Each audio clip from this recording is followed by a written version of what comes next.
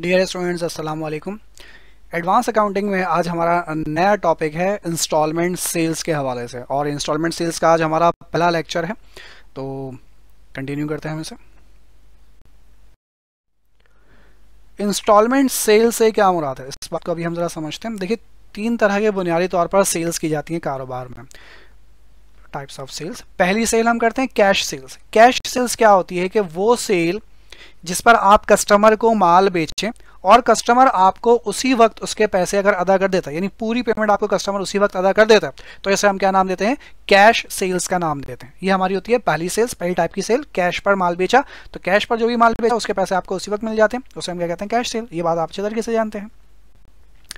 दूसरी सेल होती है हमारी क्रेडिट सेल्स क्रेडिट सेल्स का मतलब क्या होता है? क्रेडिट सेल का मतलब ये होता है कि आपने जिस कस्टमर को माल बेचा है, वो आपसे कहता है कि इसके पैसे अभी नहीं है, लेकिन इसके पैसे में आपको किसी एक पर्टिकुलर डेट पर ही पंद्रह दिन बाद, दस दिन बाद, एक हफ़्ते बाद या एक महीने के बाद जो है, वो मैं आपको इसके पैसे अदा कर दूँगा और पूरे पैसे इसके अदा करूँगा। इसे हम क्या नाम देते हैं? क्रेडिट सेल्स का नाम देते हैं। यानी जो भी माल आपने बेचा, उसके पैसे आपको उस वक्त नहीं मिलते, लेकिन किसी एक फ्यूचर डेट पर आपको पूरे पैसे आपको मिल जाते हैं, जिसे हम क्या नाम देते हैं? क्रेडिट सेल्स का नाम देते हैं। तीसरी जो सेल है, वो है इंस्टॉलमेंट सेल्स जो हमारा एक्चुअली टॉपिक है, वो है इंस्टॉलमेंट सेल्स इंस्टॉलमेंट सेल्स यूँ समझ लीजिए क्रेडिट सेल की ही एक तरह की किस्म है। बस फ़र्क सिर्फ़ इतना है क्रेडिट सेल में आपको पूरे पैसे, एक पर्टिकुलर डेट पर फ्यूचर डेट पर मिल जाते हैं। लेकिन इंस्टॉलमेंट सेल्स में आपको जो पैसे मिलते हैं फ्यूचर डेट पर ही मिलते हैं, लेकिन वो पैसे एक साथ नहीं मिलते, बल्कि टुकड़ों में मिलते हैं। यानी एक महीने बाद पैसे मिले, फिर दूसरे महीने बाद पैसे मिले, फिर तीसरे महीने बाद पैसे मिले। यानी किस्तों में जाकर अगर पैसे मिलते हैं तो उस किस्तों में मिलने वाले पैसे को हम क्या नाम दे देते हैं? फिर इंस्टॉलमेंट का नाम देते हैं। किस्तों का नाम देते हैं। ये एपिसोड वाली किस्तें नहीं हो जो आप ड्रामों में देखते हैं। ये इंस्टॉलमेंट वाली किस्तें हैं, जो कि हम मुख्तलिफ़ मंथ्स में कलेक्ट करते हैं अपने कस्टमर से। इसकी बड़ी आसान से मिसाल आपके सामने मौजूद है फ्लैट्स वगैरह की और इलेक्ट्रॉनिक आइटम्स की। वो क्या कम करते हैं? यही कि आप फ्लैट ले लीजिए पैसे आप एक साथ नहीं दे सकते पंद्रह बीस लाख रुपए तो कोई बात नहीं। आप आसान महीना किस्तों में जो है उसको अदा कर सकते हैं यानी महीनों में महीने की बेसिस पर। हर महीने थोड़े थोड़े पैसे करके आप इसके कर, क्या कर सकते हैं? अदा कर सकते हैं। इसे हम क्रेडिट नहीं कहते। इसके यानी क्रेडिट सेल नहीं कहते। इसे हम क्या कहते हैं? इंस्टॉलमेंट इंस्टॉलमेंट क्यों कहते हैं? क्योंकि यहाँ पर जो भी अमाउंट आप रिसीव करते हैं अपने कस्टमर से, वो इंस्टॉलमेंट की बुनियाद पर, यानी किस्तों की बुनियाद पर रिसीव करते हैं इसे हम कहते हैं इंस्टॉलमेंट सेल्स यानी इंस्टॉलमेंट सेल्स में एक बात जो जहन में रखने वाली है कि जब आप कस्टमर को माल बेचते हैं, उस वक्त आपको पैसे नहीं मिलते, बल्कि आपको पैसे बाद में मिलते हैं और वो भी एक साथ पूरे पैसे नहीं मिल जाते, बल्कि थोड़े थोड़े पैसे करके आपको मिलते रहते हैं। यानी हो सकता है कि इस साल आपको सारे पैसे ना मिले, कुछ पैसे इस साल मिले, कुछ पैसे अगले साल, कुछ पैसे उसके अगले साल, कुछ पैसे उसके अगले साल। तो यानी एक से ज़्यादा सालों में यहाँ पर जाकर आपके पास जो है वो पैसे कलेक्ट होते हैं कैश कलेक्ट होता है। ये है हमारे पास इंस्टॉलमेंट सेल्स का बेसिक कॉन्सेप्ट यानी बात हमें यहाँ पे जो जहन में रखने वाली वो ये कि इस टॉपिक में हमें पढ़ना क्या है इंस्टॉलमेंट सेल्स पढ़ना है। और इंस्टॉलमेंट सेल्स का मतलब क्या है कि हम कस्टमर को जो भी माल बेचेंगे कस्टमर हमें उस वक्त पैसे नहीं देगा कस्टमर हमसे कहेगा कि मैं ये पैसे आपको कुछ दिन के बाद अदा करूँगा और पैसे एक साथ अदा नहीं करूँगा, बल्कि मंथली बेसिस पर अदा करूँगा या क्वार्टरली या जो भी डिसाइड होगा आपके दरमियान में वो क्या होगा, वो भी हम पढ़ेंगे। तो आप कहते हैं, ठीक है, आप ये पैसे हमें इतनी किस्तों में अदा कर दीजिएगा। आप किस्तें आप लोग डिसाइड कर लेते हैं कि छह किस्तों में अदा करना है, बारह किस्तों में अदा करना है, पच्चीस किस्तों में। कितनी किस्तें होंगी, ये आपके और कस्टमर के दरमियान डिसाइड हो चुकी होगी बात में। तो जहन में ये रखना है कि पैसे हमें फ़ौरन नहीं मिलेंगे, बल्कि किस्तों में हमें यहाँ पर पैसे मिल रहे हैं। अच्छा एग्जामिनेशन पॉइंट ऑफ़ व्यू से जो बात जहन में रखने की, वो ये कि इंस्टॉलमेंट सेल्स का जब भी सवाल आपके सामने आएगा, आप ये सात स्टेप्स मैं यहाँ पर लिखूँगा। इन स्टेप्स को फॉलो करेंगे।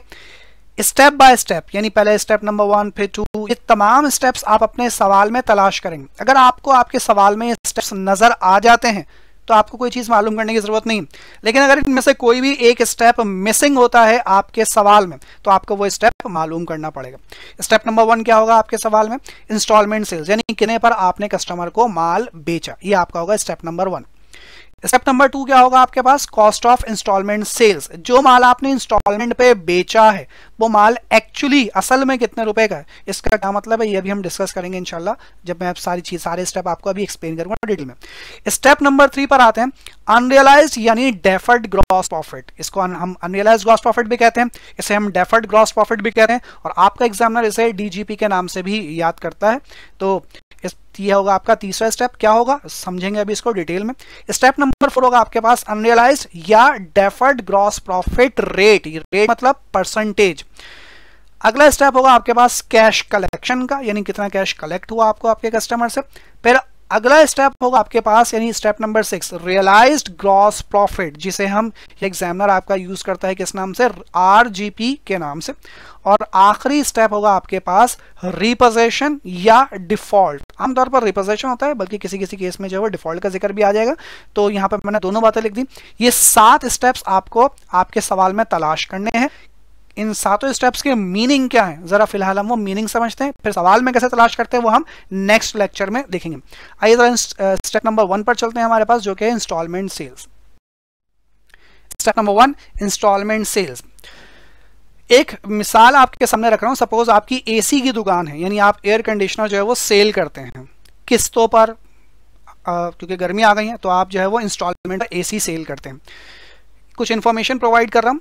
Sold five A C at the rate of rupees one lakh each on instalment आप के पास जो है वो कस्टमर्स आए, बहुत सारे अलग अलग कस्टमर आए, या यूँ समझ लिए एक ही कस्टमर आया, उस कस्टमर को अपने ऑफ़िस के लिए पाँच एसी चाहिए थे, उसने कहा कि भाई मुझे पाँच एसी चाहिए। आपने बोला, ठीक है, ले लो पाँच एसी एक एसी जो है वो अगर कैश पे लेंगे तो अस्सी हज़ार रुपए का मिलेगा, और अगर इंस्टॉलमेंट पर लेंगे, आप किस्तों पर लेंगे तो ज़ाहिर सी बात है जब पैसे देर में मिलेंगे तो उसकी कीमत क्या हो जाएगी? बढ़ जाएगी थोड़ी सी तो आपने उससे कहा कि भाई पैसे के आप मुझे बहुत सारी किस्तों में देंगे? पैसे मुझे अभी तो मिलेंगे नहीं। तो आपको मैं जब ये फेवर दे रहा हूँ कि आप पैसे इंस्टॉलमेंट पे अदा कर दीजिएगा तो एसी की कीमत अब मैं आपको अस्सी हज़ार के बजाय कितने में दूँगा? एक लाख रुपए में दूँगा।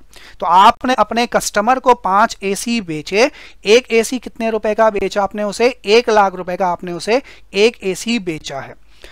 अब हमें ये मालूम करना है कि हमने जो माल बेचा है एक्चुअली वो हमने कितने रुपए में टोटल माल बेचा है। बहुत ही आसान सी बात है आपको खुद यहाँ पर समझ में आ, आ रही होगी। मुझे समझाने की भी ज़रूरत नहीं है फिर भी मेरा काम है ज़ाहिर है समझाना तो मैं समझा ही देता हूँ आप। क्या याद करेंगे? तो मैं यहाँ पर लिख रहा हूँ, पाँच एसी आपने बेचे, एक एसी कितने रुपए का बेचा आपने? एक लाख रुपए का। AC sold five AC sold किया आपने। सेलिंग प्राइस पर एसी एक एसी की सेलिंग प्राइस कितने रुपए है? एक लाख रुपए।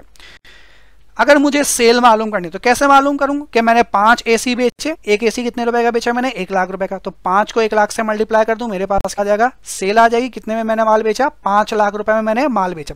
अब इसे आप सेल्स का नाम नहीं देंगे, बल्कि आप इसे क्या नाम देंगे? इंस्टॉलमेंट सेल्स का नाम देंगे। क्योंकि आपको ये बात पता चलनी चाहिए कि आपने जो एसी बेचा है, क्या वो आपने कैश पे बेचा है या इंस्टॉलमेंट पे बेचा है? तो इसके आगे आप मैंशन करेंगे कि ये सेल हमने किस पर की है? इंस्टॉलमेंट पे सेल की है तो इसके आगे आप लिखेंगे इंस्टॉलमेंट सेल्स पाँच एसी बेचे, एक एसी एक लाख रुपए का बेचा। टोटल कीमत कितनी हो गई? यानी कितने में माल बेचा आपने? पाँच लाख रुपए में माल बेचा। पाँच एसी बेचे, इसे आप क्या कहेंगे? यूनिट सोल्ड पाँच एसी बेचे आपने। मल्टीप्लाई एक यूनिट की सेलिंग प्राइस सेलिंग प्राइस पर यूनिट, एक यूनिट की सेलिंग प्राइस कितने रुपए? पाँच रुपए। तो इससे आपको क्या मालूम हो गया? पाँच लाख रुपए, जिसे आपने क्या कहा? इंस्टॉलमेंट सेल्स यानी अगर मैं आपसे इंस्टॉलमेंट सेल्स का फॉर्मूला पूछूँ तो आपने क्या किया है कि जितने यूनिट्स बेचे, यानी यूनिट सोल्ड उसको आपने मल्टीप्लाई कर दिया एक यूनिट की सेलिंग प्राइस से। तो इंस्टॉलमेंट सेल्स का फॉर्मूला बनता है unit sold multiply by selling price per unit ये आपके पास इंस्टॉलमेंट सेल्स का फॉर्मूला है। अब आते हैं अपने सेकंड स्टेप पर। सेकंड स्टेप आपका है कॉस्ट ऑफ़ इंस्टॉलमेंट सेल्स इसके लिए भी एक एग्ज़ाम्पल क्रिएट कर रहा हूँ। अच्छा एग्ज़ाम्पल सारी मैं कनेक्ट रखूँगा। यानी स्टेप नंबर वन से लेकर स्टेप नंबर सिक्स तक जितनी भी एग्ज़ाम्पल रखूँगा, वो सारी एग्ज़ाम्पल आपस में कनेक्टेड होंगी। स्टेप नंबर टू पर आते हैं कॉस्ट ऑफ़ इंस्टॉलमेंट सेल्स एक इंफॉर्मेशन आपको प्रोवाइड कर रहा हूँ। एसी बिगनिंग यानी मेरे पास शुरू में पचास हज़ार रुपए के एसी रखे हुए थे। और फिर मैंने एसी और परचेज किए एसी इतने के मैंने परचेज किए तीन लाख नब्बे हज़ार रुपये के मैंने एसी परचेज किए पचास हज़ार रुपये का एसी मेरा पहले का रखा हुआ था कोई पुराना एसी रखा हुआ था फिर मैंने एसी परचेज किया कितने का एसी परचेज किया मैंने तीन लाख नब्बे हज़ार रुपये का मैंने एसी परचेज किया और एसी बेचने के बाद जो मेरे पास एंड में एसी बचे हैं वो कितने रुपए के एसी बचा चालीस हज़ार रुपये का मेरे पास एंड में एक एसी बच गया सवाल ये है कि मेरे पास से कितने का एसी चला गया जो कि मैंने अभी अभी अपने कस्टमर को बेचा है तो जरा कैलकुलेट करते हैं हम लोग cost of instalment sales cost calculate करना कॉस्ट ऑफ़ एसी सोल्ड देखिए आप मेरे पास पहले कितने के एसी रखे हुए थे पचास हज़ार रुपए के एसी पहले के रखे हुए थे प्लस मैंने एसी परचेज किए कितने के एसी परचेज किए मैंने तीन लाख नब्बे हज़ार रुपए के एसी मैंने मेरे परचेज कर लिए पचास हज़ार रुपए का एसी पहले का रखा हुआ था तीन लाख नब्बे हज़ार रुपए के एसी में दुकान से परचेज कर कर लेकर आया तो कितने के एसी होगा मेरे पास चार लाख चालीस हज़ार रुपए के टोटल एसी होगा मेरे पास बेचने के लिए जब मैंने एसी बेच दिए तो बेचने के पास मेरे पास एंड में कितने का एसी बच गया? चालीस हज़ार रुपए का मेरे पास एंड में एसी बच गया। चार लाख चालीस हज़ार रुपए के एसी थे। चार लाख चालीस हज़ार में से एंड में मेरे पास अगर चालीस हज़ार रुपए का एसी बच गया तो बाकी मेरे पास से कितने के एसी चले गए? चार लाख रुपए के मेरे पास से एसी चले गए। और जो एसी मेरे पास से चले गए उसको मैं क्या कहूँगा? कॉस्ट ऑफ़ एसी सोल्ड जो एसी मैंने बेच दिया, उसकी कीमत कितनी बन गई? चार लाख रुपए। अब जरा समझिएगा, आपने कैसे कैलकुलेट किया? पचास हज़ार रुपए का आपने ऐड किया किसमें? तीन लाख नब्बे हज़ार में, और उसमें से माइनस कर दिया आपने चालीस हज़ार रुपए को। ये पचास हज़ार रुपए क्या था आपके पास? बिगिनिंग जो शुरू में रखा हुआ था माल। तीन लाख नब्बे हज़ार रुपए क्या था? परचेज जो माल आपने परचेज किया था। और चालीस रुपए क्या था आपके पास? एंडिंग जो आपके पास एंड में माल बचा था। यानी कॉस्ट ऑफ़ एसी सोल्ड जो एसी आपने बेचे, या जो माल आपने इंस्टॉलमेंट पे बेचा, वो कितने रुपए का माल बेचा आपने? चार लाख रुपए का माल बेचा। कैसे कैलकुलेट किया?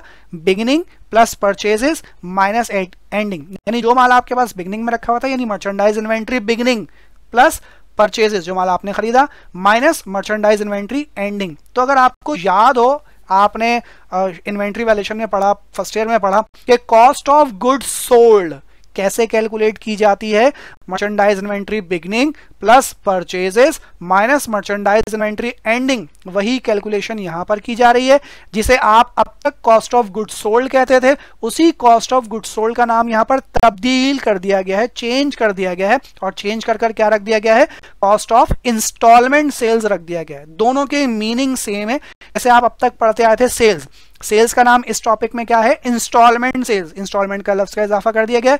इसी तरीके से आप अब तक पढ़ दिया था cost of good sold cost of good sold का लफ्ज यहाँ पर बदल के क्या रख दिया गया है? Cost of instalment sales cost of instalment sales के लिए फॉर्मूला क्या बनता है? Merchandise inventory beginning plus net purchases minus merchandise inventory ending, इसे आप क्या नाम देंगे? कॉस्ट ऑफ़ इंस्टॉलमेंट सेल्स का नाम देंगे, जिसे आप आज तक पढ़ते आए थे कॉस्ट ऑफ़ गुड सोल्ड के नाम से। वही चीज़ है, सिर्फ़ नाम बदल के क्या रख दिया गया? Cost of instalment sales. ये आपका था दूसरा स्टेप, जो माल आपने बेचा, वो माल कितने का बेचा आपने? चार लाख रुपए का माल बेचा। कस्टमर को कितने में बेचा आपने? पीछे हमने बात पढ़ी थी, सेल, कितने में बेचा था हमने? पाँच लाख रुपए में माल बेचा था। तो चार लाख रुपए का माल आपने अपने कस्टमर को कितने रुपए में बेच दिया? पाँच लाख रुपए में बेच दिया। अब चलते हैं जरा अपने अगले स्टेप पर यानी step number three step number three है अनरियलाइज यानी डेफर्ड ग्रॉस प्रॉफिट जिसे हम कहते हैं डीजीपी जरा इस बात को यहाँ पर बहुत ध्यान से समझेगा कि यहाँ पर हम इसे सिर्फ़ प्रॉफिट यानी ग्रॉस प्रॉफिट क्यों नहीं कह रहे हैं, हम इसके साथ अनरियलाइज या डेफर्ड का लफ्ज क्यों लगा रहे हैं, जरा इस बात को अभी हम समझ लेते हैं। पिछली इंफॉर्मेशन दो कॉपी कर रहा हूँ यहाँ पर सेल आपने एसी बेचा कस्टमर को कितने रुपए में बेचा आपने? पाँच लाख रुपए में बेचा। लेकिन वो एसी असल में कितने रुपए का था? यानी उसकी असल कॉस्ट कितने रुपए थी? चार लाख रुपए थी। तो चार लाख रुपए का माल अगर आप अपने कस्टमर को पाँच लाख रुपए में बेच देते हैं। बहुत ही सिंपल सी बात है। तो मैं आपसे अगर प्रॉफिट पूछूँ तो इसमें कितने का प्रॉफिट हो गया? ज़ाहिर सी बात है कि आपको एक लाख रुपए का इसमें क्या हो जाएगा? प्रॉफिट हो जाएगा। तो अगर चार लाख का माल आप अपने कस्टमर को पाँच लाख रुपए में बेच दें तो इसका मतलब कि आपको एक लाख रुपए का इसमें क्या हो गया? प्रॉफिट हो गया। प्रॉफिट कैसे मालूम किया आपने? कि पाँच लाख में से चार लाख को माइनस कर दिया। एक लाख रुपए आपका क्या हो गया? प्रॉफिट हो गया। ये पाँच लाख रुपए क्या है? आपकी सेल है। ये चार लाख रुपए क्या है? आपकी कॉस्ट है। यानी आपने अपनी सेल में से आपने कॉस्ट को क्या कर दिया? आपने माइनस कर दिया। तो आपको क्या मालूम हो गया? प्रॉफिट मालूम हो गया। अब बात यह है कि आप जब इंस्टॉलमेंट पे माल बेच रहे हैं तो क्या आपको ये पाँच लाख रुपए उसी वक्त मिलेंगे या नहीं मिलेंगे? क्योंकि आपने अपने कस्टमर को तो पाँच लाख रुपए का माल बेचा एसी। पाँच लाख रुपए के हिसाब से माल बेचा कस्टमर आपको पाँच लाख रुपए देने का जिम्मेदार है। लेकिन क्योंकि आपने से इंस्टॉलमेंट पे माल बेचा है, खुद कह रहे हैं कि किस्तों में पैसे देना, अभी मत देना। तो इसका मतलब आपको ये पाँच लाख रुपए उसी वक्त नहीं मिले। अगर ये प्रॉफिट आपको नहीं मिला तो इसे आप क्या नाम देते हैं? अनरियलाइज्ड ग्रॉस प्रॉफिट देखिए अनरियलाइज्ड का मतलब क्या होता है? रियलाइज़ से होता है हासिल होना। और अनरियलाइज्ड हासिल नहीं होना। यानी वो प्रॉफिट जो अभी हमें हासिल नहीं हुआ, उसे हम क्या कहते हैं? अनरियलाइज ग्रॉस प्रॉफिट कहते हैं। और इसी को हम डेफर्ड भी कहते हैं। डेफर्ड का मतलब होता है छुपा हुआ। यानी ज़ाहिर है ये प्रॉफिट जब मुझे मिला ही नहीं है तो ज़ाहिर है कहीं ना कहीं छुपा हुआ है मेरे पास अभी तक आया तो नहीं है, कहीं छुपा हुआ है, कोने खांचे में। तो ये प्रॉफिट क्योंकि मुझे मिला नहीं इसीलिए मैं इसे क्या नाम देता हूँ? अनरियलाइज या डेफर्ड ग्रॉस प्रॉफिट का नाम देते हैं हम इसे इंस्टॉलमेंट सेल्स में। और ये प्रॉफिट हमने कैसे मालूम किया? सिंपल है सेल्स में से आपने अपनी कॉस्ट को क्या कर दिया? माइनस कर दिया। तो डेफर्ड ग्रॉस प्रॉफिट या अनरियलाइज ग्रॉस प्रॉफिट का फॉर्मूला क्या बनता है? Instalment sales minus cost of instalment sales यानी जितने पे आपने माल बेचा था उससे माइनस कर दीजिए। उस माल की असल कीमत को, यानी कॉस्ट को तो आपके पास क्या आ जाएगा? अनरियलाइज ग्रॉस प्रॉफिट यानी जितने रुपए, जितने का आपने उससे क्या कमाया? प्रॉफिट कमाया। कितने का प्रॉफिट कमाया आपने उससे? एक लाख रुपए का प्रॉफिट कमाया। लेकिन ये एक लाख रुपए का प्रॉफिट अभी आपको मिला नहीं है। इसीलिए आपने इसे क्या नाम दे दिया? अनरियलाइज ग्रॉस प्रॉफिट का नाम दे दिया। क्योंकि कस्टमर आपको पैसे बाद में अदा करेगा। चलते हैं अपने चौथे स्टेप पर। चौथा स्टेप होता है हमारे पास अनरियलाइज ग्रॉस प्रॉफिट रेट अब आप ये मालूम करना चाहते हैं कि मैंने जो अपने कस्टमर को माल बेचा है, वो कितने परसेंट प्रॉफिट रखकर माल बेचा? ये तो पता है कि आपने कितने का प्रॉफिट कमाया? एक लाख रुपए का प्रॉफिट कमाया।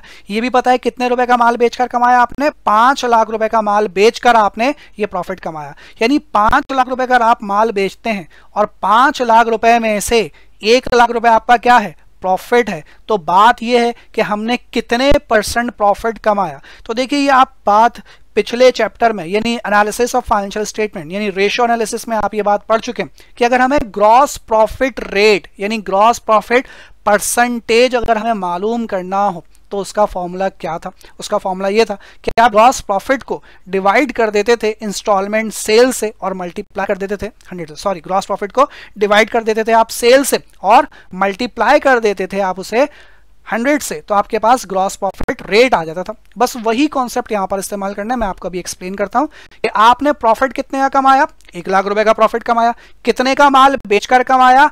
पाँच लाख रुपए का माल बेचकर कमाए। यानी पाँच लाख रुपए में से एक लाख रुपए आपका क्या है? प्रॉफिट है। तो बात यह है कि आपने कितने परसेंट प्रॉफिट कमाया? तो कैलकुलेशन यहाँ शो कर रहा हूँ। प्रॉफिट परसेंटेज एक लाख रुपए का प्रॉफिट कमाया। जितना प्रॉफिट कमाया, वो आपने रखा ऊपर। कितने की सेल करके कमाया आपने? पाँच लाख की सेल करके कमाया। तो आपका प्रॉफिट किस पर बेस कर रहा है? सेल पर सेल होगी तो प्रॉफिट होगा।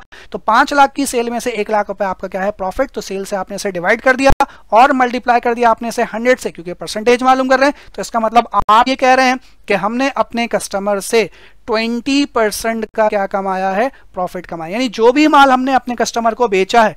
उस माल में हमारा प्रॉफिट कितने परसेंट है? उस माल में हमारा प्रॉफिट है 20 परसेंट तो कैसे कैलकुलेट किया? फॉर्मूला क्या बनता है? कि आपने अपने प्रॉफिट को डिवाइड किससे कर दिया? सेल से और मल्टीप्लाई बाय हंड्रेड तो फॉर्मूला मैं यहाँ लिख रहा हूँ। Unrealise gross profit rate is equal to unrealise gross profit DGB का मतलब यहाँ पर क्या है? अनरियलाइज ग्रॉस प्रॉफिट या डेफर्ड ग्रॉस प्रॉफिट जो भी नाम दे लीजिए अनरियलाइज ग्रॉस प्रॉफिट या डेफर्ड ग्रॉस प्रॉफिट डिवाइड किया आपने इसे सेल्स से। सेल्स का यहाँ पर नाम क्या होगा? इंस्टॉलमेंट सेल्स नाम होगा and then multiply by hundred तो आपको मालूम हो जाएगा कि आपने कितने परसेंट प्रॉफिट कमाया। ट्वेंटी परसेंट आप कस्टमर से प्रॉफिट कमा रहे हैं। चलते हैं अपने नेक्स्ट स्टेप की तरफ़। स्टेप नंबर फाइव जो कि हमारा होगा कैश कलेक्शन का। कैश कलेक्शन आपके एग्ज़ाम में जो सबसे टेक्निकल चीज़ होती है, वो यही कैश कलेक्शन है, जो कि आपको सबसे ज़्यादा परेशान करेगी। कुछ क्वेश्चन ऐसे होंगे जिसमें कैश कलेक्शन गिवन होगी और कुछ क्वेश्चन ऐसे होंगे जिसमें कैश कलेक्शन गिवन नहीं होगी। तो जहाँ पर कैश कलेक्शन गिवन नहीं होगी, वहाँ पर आपको बहुत ध्यान से कैश कलेक्शन को समझना पड़ेगा। एक एग्ज़ाम्पल क्रिएट कर रहा हूँ मैं आपके सामने। इसी जो पीछे जो काम करते हुए आ रहे हैं, उसी से रिलेटेड एग्ज़ाम्पल क्रिएट कर रहा हूँ। एयर टू की बात करते हैं हम लोग। सेल, पाँच लाख रुपए की सेल की। आप अच्छी तरीके से जान चुके हैं कि हमने जो माल बेचा कस्टमर को, वो कितने रुपए में माल बेचा हमने? पाँच लाख रुपए। 2018 की किसी भी डेट पर सपोज़ जनवरी फरवरी मार्च अप्रैल किसी भी डेट पर हमने कस्टमर को माल बेचा। कितने रुपए में माल बेचा हमने? पाँच लाख रुपए का माल बेचा। जब दिसंबर थर्टी आए दिसंबर थर्टी फ़र्स्ट और हमने ये चेक किया। ज़ाहिर है जब माल बेचेंगे तो कस्टमर ने उस वक्त तो पैसे नहीं दिए होंगे, लेकिन उसके अगले महीने अगले महीने, फिर अगले महीने, यानी हर महीने थोड़े थोड़े कुछ ना कुछ पैसे तो दिए होंगे। तो कुछ ना कुछ पैसे मिलने के बाद जब आपने चेक किया कि क्या साल के आखिर में अभी भी मुझे अपने कस्टमर से पाँच लाख रुपए ही लेने तो आपको पता चला, December thirty first two thousand eighteen account receivable यानी कस्टमर से पैसा लेना है। कितने पैसे लेने हैं आपको? तीन लाख रुपए। साल में माल बेचा आपने कितने रुपए का? पाँच लाख रुपए का। लेकिन जब साल खत्म हुआ तो साल खत्म होने में आपको अपने कस्टमर से लेने कितने हैं? सिर्फ़ तीन लाख रुपए। यानी अकाउंट रिसेबल जो आपका एंडिंग कहलाएगा 2018 का अकाउंट रिसेबल एंडिंग वो कितना एंडिंग है? तीन लाख रुपए। पाँच लाख रुपए में माल बेचा था, लेकिन साल के आखिर में कस्टमर से सिर्फ़ तीन लाख रुपए लेने बाकी हैं। इसका मतलब कस्टमर से आपको कुछ पैसे मिल गए। कितने पैसे मिल गए, उसी कैलकुलेशन आप कैसे करेंगे? मैं आपके सामने प्रेजेंट कर रहा हूँ कि पाँच लाख रुपए का माल बेचा था, पाँच लाख रुपए में से अब सिर्फ़ तीन लाख रुपए लेने बाकी हैं। इसका मतलब कस्टमर ने आपको कितने पैसे अदा कर दिए? दो लाख रुपए आपके कस्टमर ने आपको अदा कर दिए। कैसे मालूम किया कि जितना माल बेचा था सेल किया था, उसमें से आपने अपने अकाउंट रिसिवेबल एंडिंग को क्या कर दिया? माइनस कर दिया। तो ये फॉर्मूला बनता है आपके पास। सेल्स में से आपने अकाउंट रिसेबल एंडिंग को माइनस कर दिया तो आपको क्या मालूम हो जाएगा? कैश कलेक्शन यानी कितना कैश कलेक्ट हुआ। तो कैश कलेक्शन का फॉर्मूला लिख रहा हूँ मैं यहाँ पर। Instalment sales minus instalment account receivable ending जितने में माल बेचा माइनस कर दीजिए। जो भी आपके पास इंस्टॉलमेंट का, यानी उधार का अकाउंट रिसेबल एंडिंग है, वो उसमें से क्या कर दीजिए? माइनस कर दीजिए तो आपको क्या मालूम हो जाएगा? कैश कलेक्शन अच्छा कैश कलेक्शन का एक और फॉर्मूला है, जो मैं यहाँ पर डिस्कस करने जा रहा हूँ आपसे। ये तो बात थी 2018 की। अब आ जाते हैं 2019 पर। ये जो 2018 का अकाउंट रिसिवेबल था, तीन लाख रुपए यही अब अकाउंट रिसेबल कौन से ईयर में आ जाएगा? 2019 में आ जाएगा। और 2019 की किस डेट पर आ जाएगा? जनवरी फ़र्स्ट 2019 में आ जाएगा। तो जो आपका अकाउंट रिसेबल एंडिंग था 2018 का, वही अकाउंट रिसेबल बिगनिंग बन जाएगा 2019 का। यानी उसी कस्टमर से जिसको आपने पाँच लाख रुपए का माल बेचा था, पाँच लाख रुपए के एसी बेचे थे 2018 में, उसमें से उसने दो लाख रुपए तो दे दिए उस साल। अब अगला साल शुरू हुआ, अगले साल पे आपने उसे जनवरी फ़र्स्ट को रिमाइंड करवाया कि भाई जनवरी फ़र्स्ट पर मुझे आपसे पैसे लेने हैं। तीन लाख रुपए। कस्टमर ने कहा, भाई, कहाँ भागा जा रहा हूँ? दे दूँगा, सबर कर जाओ। पूरे साल में आपके कस्टमर ने कुछ आपको पैसे दिए और जब आपने उसका रिकॉर्ड चेक किया, कब? दिसंबर थर्टी फ़र्स्ट टू पर। तो पता चला कि अकाउंट रिसेबल अभी भी उस कस्टमर के ऊपर पैसे बाकी हैं। कितने पैसे बाकी हैं? दो लाख रुपए अभी भी कस्टमर के ऊपर बाकी हैं। जनवरी फ़र्स्ट को, साल के शुरू में कितने पैसे लेने हैं तीन लाख रुपए। दिसंबर थर्टी फ़र्स्ट को अकाउंट रिसेबल पैसे कितने लेने हैं? दो लाख रुपए। इसका मतलब ये हुआ कि तीन लाख रुपए लेने थे। लेकिन अब तीन लाख रुपए नहीं लेने, बल्कि आप कितने पैसे लेने हैं? दो लाख रुपए लेने। तो थोड़े से पैसे आपको मिल गए। कितने पैसे मिल गए? कि तीन लाख में से आपने दो लाख को क्या कर दिया? माइनस कर दिया। तो आपने कहा कि आपको कितने पैसे मिल गए? एक लाख रुपए आपको मिल गए। कैसे मालूम किया? इस बार फॉर्मूला थोड़ा सा चेंज हो गया। क्या चेंज हो गया? कि पहले आपने सेल में से अकाउंट रिसेबल एंडिंग को माइनस किया था। अब आपने सेल में से अकाउंट रिसेबल एंडिंग को माइनस नहीं किया, बल्कि आपने अकाउंट रिसेबल बिगनिंग में से अकाउंट रिसेबल एंडिंग को क्या किया है? माइनस किया है। तो ये आपके पास क्या गया? कैश कलेक्शन यानी कैश कलेक्शन के दो फॉर्मूले बनते हैं। पहला फॉर्मूला क्या बना? इंस्टॉलमेंट सेल्स में से अकाउंट रिसेबल एंडिंग को माइनस कर दीजिए। और दूसरा फॉर्मूला क्या बना? इंस्टॉलमेंट अकाउंट रिसेबल बिगनिंग में से इंस्टॉलमेंट अकाउंट रिसेबल एंडिंग को माइनस कर दीजिए। तो भी आपके पास क्या आ जाएगा? कैश कलेक्शन आ जाएगा। जिस तरह का डेटा आपके पास होगा उस तरह का फॉर्मूला आप इस्तेमाल करेंगे। अगर सेल मौजूद है तो पहला वाला फॉर्मूला इस्तेमाल करेंगे। और अगर अकाउंट रिसेबल बिगनिंग मौजूद है तो फिर दूसरा वाला फॉर्मूला आप यहाँ पर इस्तेमाल करेंगे। अच्छा इसके अलावा एक और फॉर्मूला होता है, वो जब हम लेक्चर में डिस्कस करेंगे जब क्वेश्चन आएगा तो वहाँ पर हम उसको डिस्कस करेंगे। फ़िलहाल मैं यहाँ पर नहीं लिख रहा हूँ, वरना आप कंफ्यूज होते रहेंगे। अगला स्टेप है ग्रॉस प्रॉफिट इस बात को बहुत ही ध्यान से समझेगा, जो बात मैं आपको यहाँ पर समझाना चाह रहा हूँ। पहले एक मिसाल क्रिएट करता हूँ, चाय की।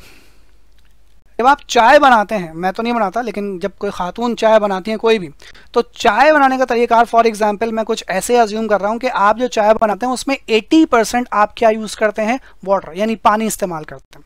और 20 परसेंट आप उसमें सिर्फ़ क्या इस्तेमाल करते हैं? दूध यानी मिल्क इस्तेमाल करते हैं। कुछ लोग ज़्यादा कंज्यूस होते हैं तो 95 परसेंट वाटर और 5 परसेंट मिल्क बहरहाल, मैंने यहाँ पर 80 और 20 की मिसाल क्यों रखी है, वो अभी आपको मेरी बात समझ में आ जाएगी। तो आपने फॉर एग्ज़ाम्पल चाय बना ली बहुत सारी। पूरी मतलब जिसमें, जिस बर्तन में ये बना रहे हैं, उसमें आपने बहुत सारी चाय बना ली और बहुत सारी जो आपने चाय बनाई है, उस चाय में 80 परसेंट क्या है? वाटर शामिल किया आपने और 20 परसेंट आपने क्या शामिल किया? उसमें मिल्क शामिल किया। यानी जब चाय बनी पतीली में तो उसमें थोड़ा सा पानी था और थोड़ा सा दूध था। पानी की मिकदार उसमें कितने परसेंट थी? 80 परसेंट थी और दूध की मिकदार उसमें कितने परसेंट थी? 20 परसेंट थी। आपने चाय बना ली क्योंकि डॉक्टर ने कहा कि कोरोना वायरस में जो है वो गर्म पानी का इस्तेमाल कर। आपने बोला गर्म पानी तो पिया नहीं जा रहा, चाय ही पी लेते हैं, गर्म तो होती है। तो गर्म पानी आपने जो है वो इस तरीके से चाय के तौर पर इस्तेमाल कर लिया। अब जो आप पहला कप निकालेंगे, उस पहले कप में पानी और दूध की मिकदार कितने कितने परसेंट होगी? होगा वो पहला का भी होगा, लेकिन अगर उससे पूछा जाए कि भाई इसमें दूध कितने परसेंट है और पानी कितने परसेंट है, आपका जवाब यही होगा कि पहले कप में पानी कितने परसेंट है? 80 परसेंट और दूध कितने परसेंट है? उसमें 20 परसेंट यानी जो पहला कप आप निकालेंगे चाय का, उस पहले कप में पानी और जो दूध का रेशो होगा, वो क्या होगा? 80 परसेंट और 20 परसेंट होगा। अच्छा जो दूसरे शख्स हो, यानी फॉर एग्जांपल आप किसी और को दूसरा कप दे रहे हैं उस दूसरे कप का जायका चेंज होगा या सेम होगा? उस दूसरे कप का जायका भी बिल्कुल सेम होगा। यानी उसमें भी पानी की मिकदार 80 परसेंट होगी और उसमें दूध की मिकदार कितने परसेंट होगी? 20 परसेंट होगी। इवन के जब आप अपना लास्ट कप बनाएँगे लास्ट कप में भी पानी की मिकदार कितने परसेंट 80 परसेंट और दूध की मिकदार 20 परसेंट यानी जो चाय आपने बनाई है, अब आप उससे जितने भी कप निकालते हैं, यानी जितनी बार भी जब आप उस बर्तन से चाय निकालते जाएँगे। हर कप में पानी की मिकदार 80 परसेंट और दूध की मकदार कितने परसेंट होगी? 20 परसेंट। यानी हर कप का जायका बिल्कुल क्या रहेगा? सेम रहेगा। यानी हर कप में पानी और दूध का रेशो बिल्कुल क्या रहेगा? सेम रहेगा। यही मिसाल रियलाइज्ड ग्रॉस प्रॉफिट की है। जरा इस बात को मेरी समझेगा। आपने अपने कस्टमर से कैश कलेक्ट किया था। 2018 की बात कर रहा हूँ। पीछे जाकर एग्ज़ाम्पल चेक कीजिएगा कि आपने अपने कस्टमर से कैश कलेक्ट किया था। कितना कैश कलेक्ट किया था? दो लाख रुपए। ये जो आप कस्टमर से कैश कलेक्ट करेंगे आपने कस्टमर को माल कितने का बेचा था? पाँच लाख रुपए का माल बेचा था। उस पाँच लाख रुपए में आपका प्रॉफिट कितने परसेंट था?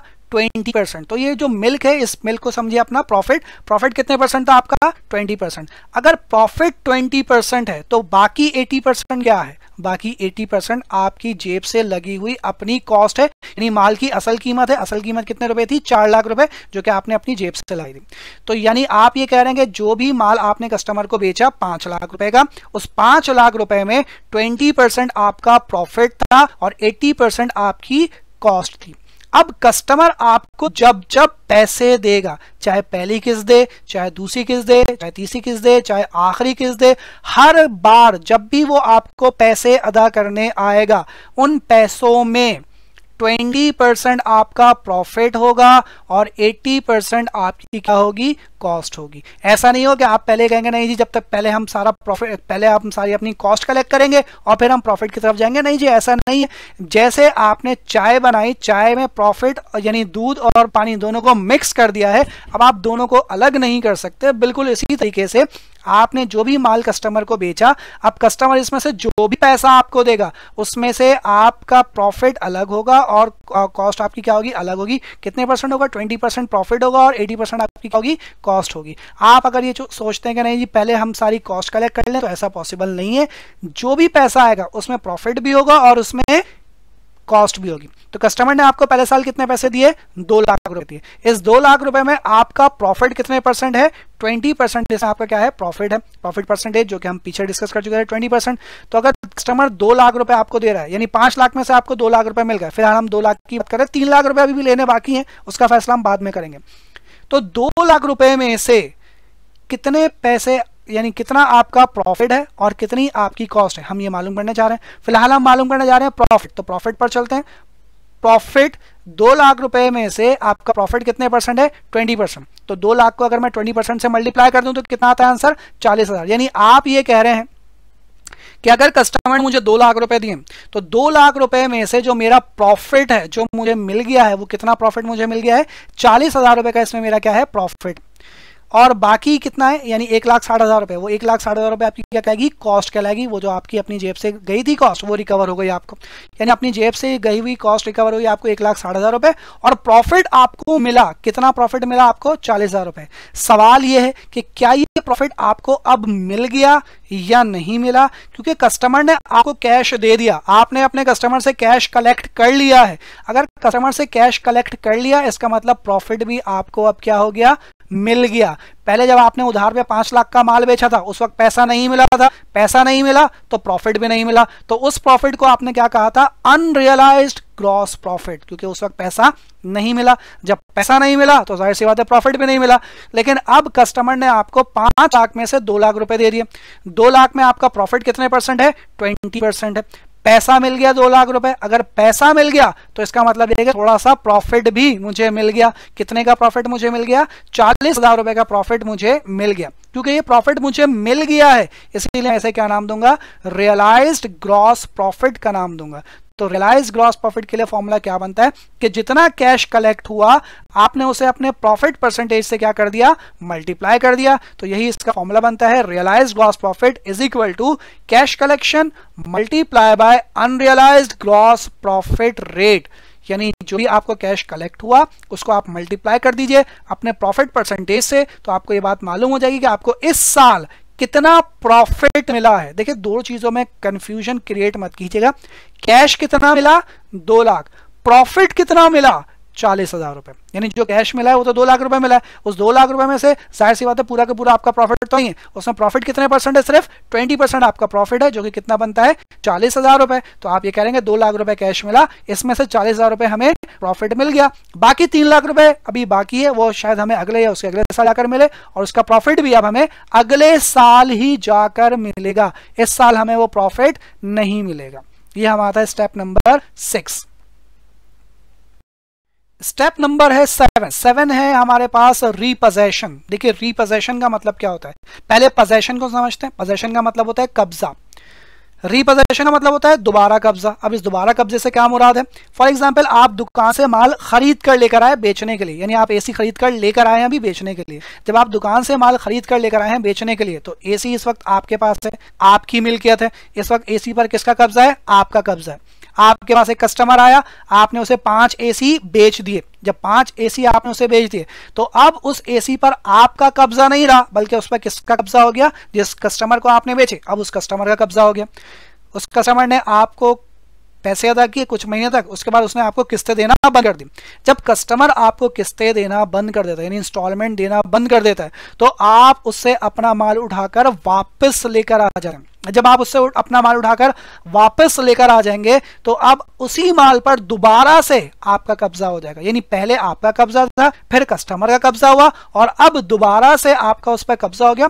जब दोबारा कब्जा हो जाता है तो उसे हम क्या नाम देते हैं? रीपोजेशन का नाम देते हैं। यानी इस स्टेप में आपको यह बात पढ़नी है कि अगर कोई कस्टमर पैसे देने में नाकाम हो जाता है और हम उससे अपना माल उठाकर वापस लेकर आ जाते हैं। तो उसके लिए क्या तरीकार हम यहाँ पर इख्तियार करेंगे? तो उसके लिए तरीकेकार कुछ ये इख्तियार करेंगे। मैं इसको एक्सप्लेन नहीं कर रहा, सिर्फ़ मैं आपको तरीकेकार लेकर रहा हूँ एक्सप्लेन करूँगा नेक्स्ट लेक्चर में क्योंकि बहुत लंबा लेक्चर हो जाएगा, वरना इंस्टॉलमेंट अकाउंट रिसेबल कैंसल्ड इसका मतलब क्या होता है? ये भी डिस्कस करेंगे अगले लेक्चर में। तरीकेकार बता रहा हूँ instalment account receivable cancelled minus करेंगे आप इसमें से अनरियलाइज ग्रॉस प्रॉफिट को, जो भी आंसर आएगा, उसे हम नाम देते हैं बुक वैल्यू का। फिर इसमें से लेस करेंगे merchandise repossessed at market value तो आपके पास गेन या लॉस ऑन रिपोजिशन आ जाएगा। इस पूरे स्टेप को, यानी इस पूरे स्टेप को स्टेप नंबर सेवन को रिपोजिशन वाले स्टेप को, वो हम डिस्कस करेंगे अपने नेक्स्ट लेक्चर में। फ़िलहाल मैं यहाँ पर एक्सप्लेन नहीं कर रहा हूँ। नेक्स्ट लेक्चर में जब क्वेश्चन आएगा तो क्वेश्चन के साथ मैं इसे आपको एक्सप्लेन करूँगा। मेरी बात आपको उस वक्त ज़्यादा बेहतर में समझ में आ जाएगी। यहाँ तक अगर आपको कोई बात समझ में ना आई हो तो बिल्कुल मुझसे पूछेगा। इनशाला फिर मुलाकात होगी हमारे अब अगले लेक्चर में। तब तक के लिए अपना और अपनी फैमिली का बहुत ख्याल रखिएगा। टेक केयर अल्लाह हाफिज़।